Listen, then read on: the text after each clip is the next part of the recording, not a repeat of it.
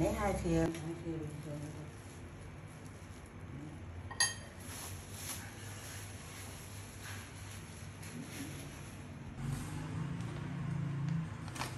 hôm nay hôm nay nấu nhiều hơn thì cho ba thìa bột năng thế này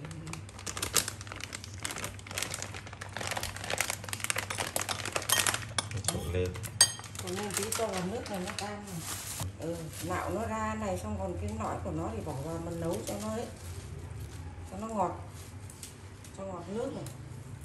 Ừ. cà rốt cho nhiều rau củ quả vào cho nó ngon được. Ừ. còn nếu có đỗ thì cho đỗ thêm. Mấy này cho cho đỡ cho nó ngọt. Bắp ngô đây cái này ruốc đây nạo ra. Đấy. Mình mua không ăn được thì là phải xay ráo cả ruốc. Ừ. một lần không hết đâu.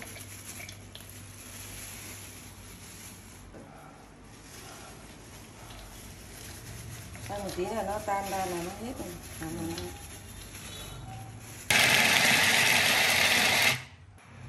cho nước vào hòa bột nhé. Đấy cho nửa bát nước vào hòa bột. Cái này hôm nay nó đông người thì là cho thêm nhiều nước lên tí. Nay có hai người. Đây. Cho muối nó mới đậm đà được. Tại vì cho cho lẫn vào rồi. Còn nếu nó sôi rồi cho hết các nguyên liệu này vào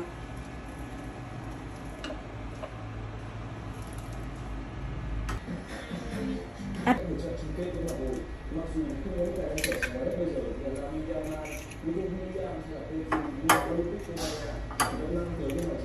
lúc được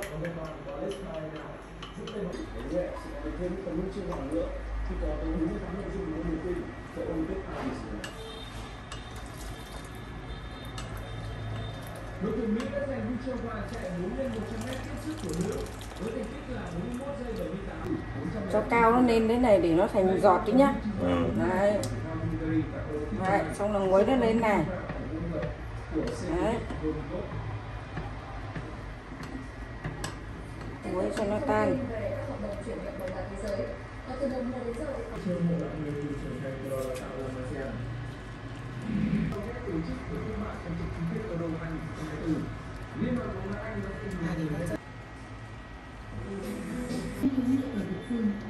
trong lúc thi bắt buộc các vận động viên đều phải mặc áo phao để đảm bảo an toàn